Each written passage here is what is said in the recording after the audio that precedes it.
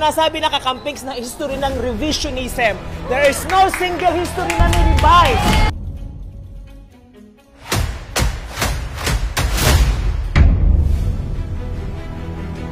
Ah, maganda po. Ah, lumabas po yung kasaysayan na totoo. Ang reaction ko, wala naman yung mga kwento-kwento nila eh. Ang gigigil ako. Nasaan yung sinasabi na kakampings na history ng revisionism? There is no single history na ni-revise. Wala, di ba? It's all about like being in the Malacanang for the last 72 hours. So wala akong nakita na mali.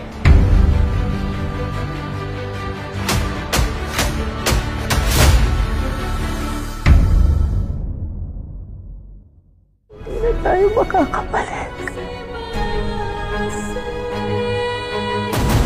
Makakabalik tayo. Makakabalik tayo.